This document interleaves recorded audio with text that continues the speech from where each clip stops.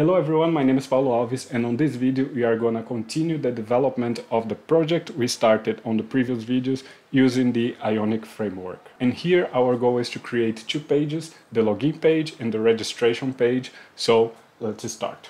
So I am here in the main folder of the project and we can see the Ionic code that was created with the side menu template. If you don't know what I'm talking about, up here you can see a link where you'll be able to see the video where I have created all this structure here.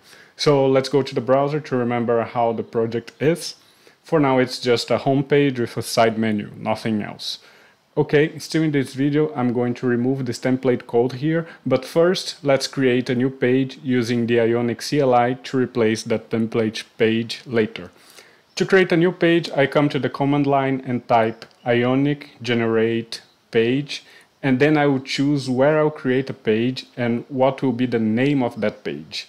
I like to create those pages in a folder that's only for them. So let's create the page in the pages folder and the page I'm going to create is like a loading page of the application. In the mobile world could be that splash screen that appears when you open a new application, but we have to remember that this code here, it can be also executed in the web world. The web world will not have that splash screen page, right? This page that I'm going to create now will be the splash screen of the web world, and in this case, I'm going to name this page as loader.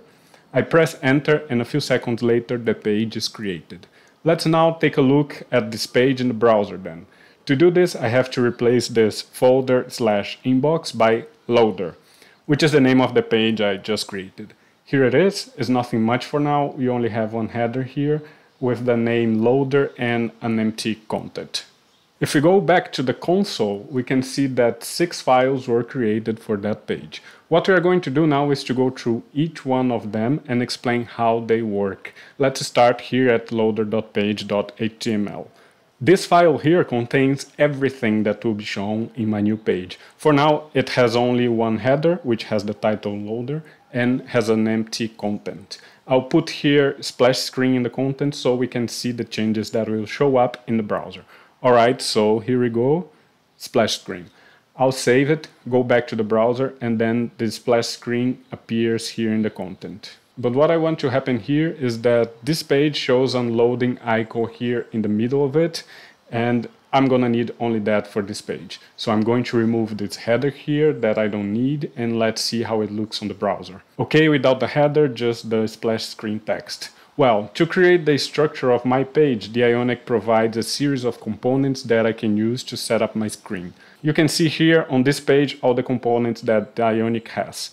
The component that I'm interested in is here in the session progress indicators and it's this component called Ion Spinner. Here on the right side you can see an example with a working component and here below we can see some code showing how to make it work and also some other instructions for using that component. So the component I like the most here in the loader is this crescent here. So what I'm going to do is to find it here in the example and I'll copy and paste it on my page. Let's go now to the browser screen and see how it is. Cool, we are now showing an icon up here, but it's black. As my application is a recycling app, I think it will be much better if it has a green color, right?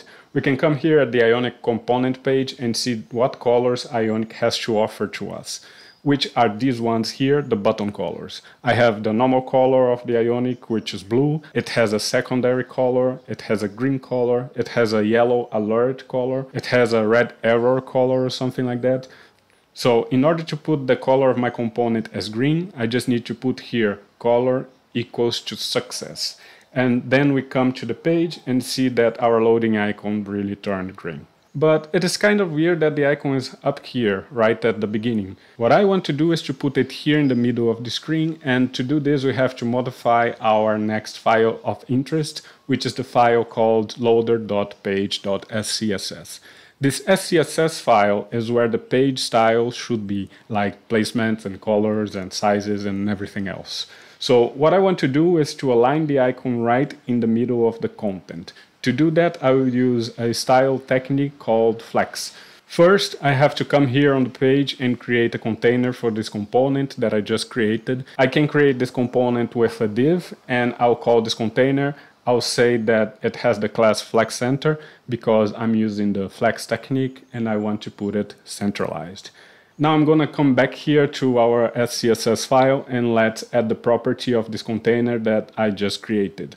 First, I will identify that HTML container here in my SCSS as dot flex center.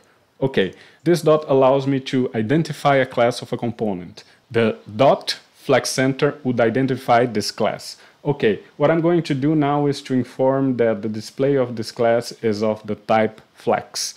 We can go back here in the browser and see that nothing has changed.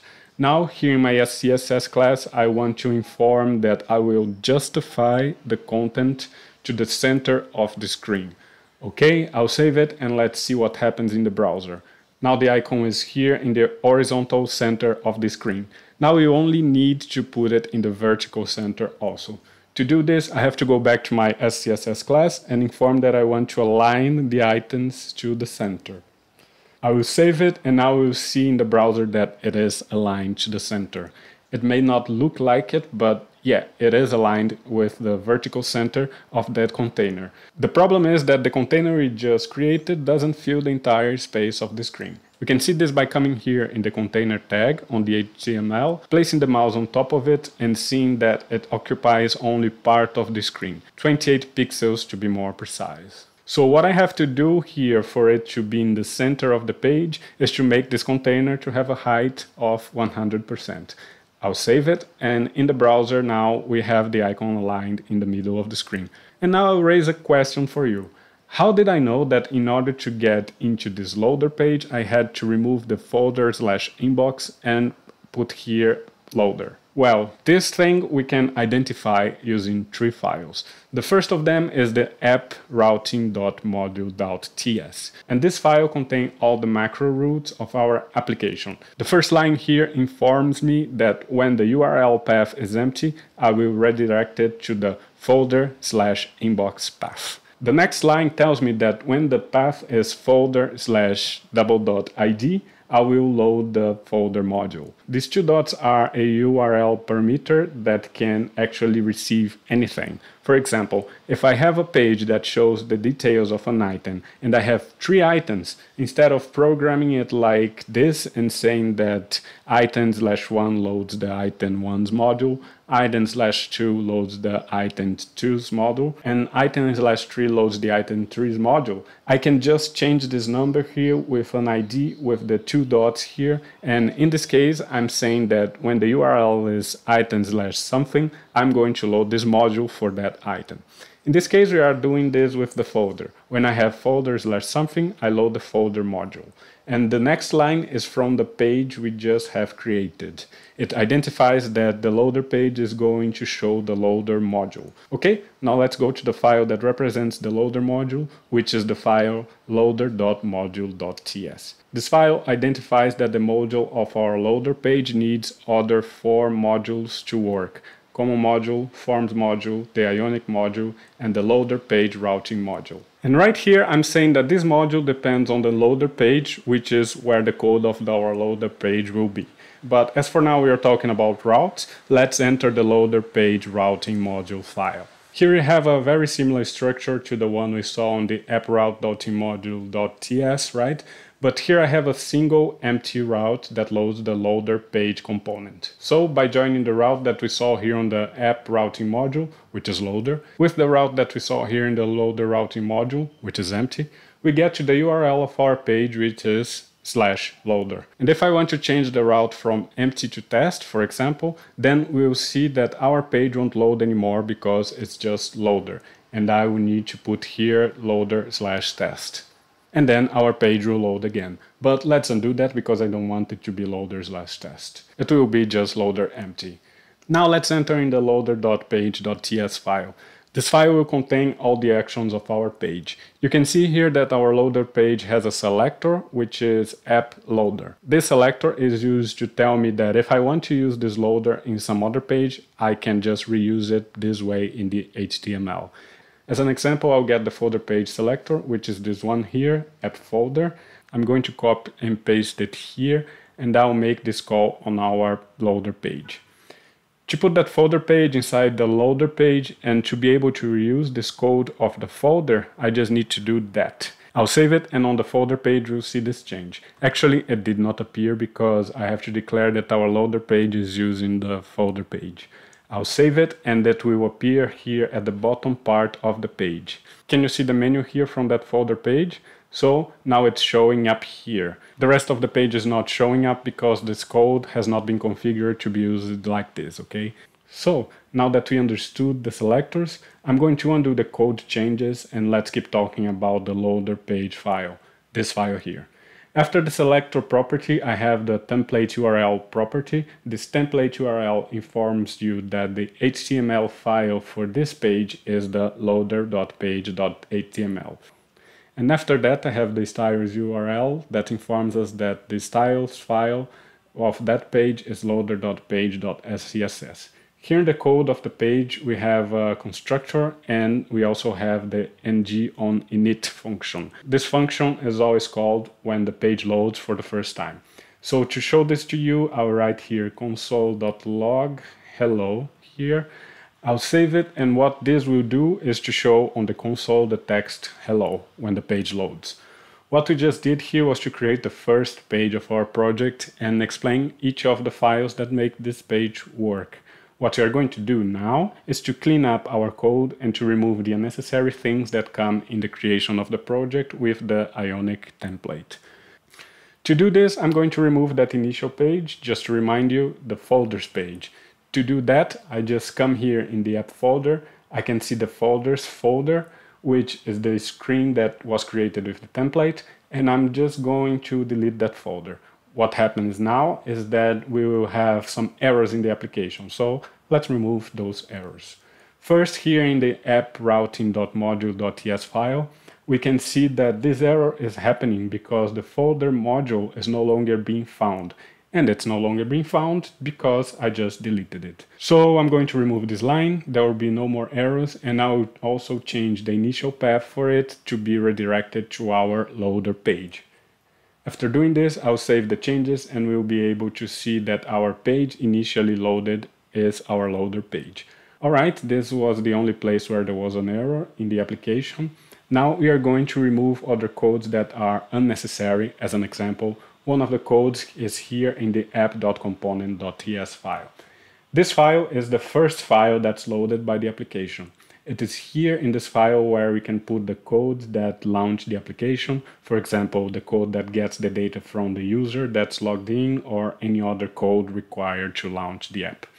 This file has some properties that are no longer necessary. For example, this app pages here. Before, it identified all the pages that existed in the app, but now, as they don't exist anymore, I can just remove them. But before I remove, let's see how it works now. They showed up here in the menu right, all the folder pages. Now I'll make this array empty and in the menu, those pages will no longer be there. Now we are going to remove this part of labels that are not necessary anymore. And for that, I'll simply remove this labels line of code. I'll save it and we will see that it will no longer be there anymore. Okay, I just have the text labels. Now let's get this text out of here as it's not necessary anymore also.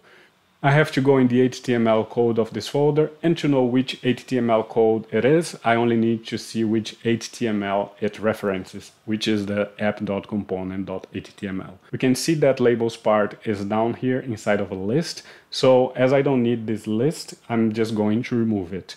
Saved it and now we come here in the app and see that the labels are no longer there. But here on this page, we can see an inbox text and an email. I will change this text here to Reciclica as the title and here as the note, I'm going to put recycling app. Let's see how it is now. Good, Reciclica, recycling app. What we are going to do now is to create our login page and we do it in the same way we did to create our loader page. We go to the command line and type G. Notice that last time I wrote generate here and this time I'm writing only G. The two options are possible, so let's keep going. I will create a page in the pages folder and that page will be called login. I press enter and here we can see that the login page structure has been created and also the app routing module file already has the instruction for the login page. If I come back to the browser and put the login route in the URL, it will show us our login page. And that's exactly what happened.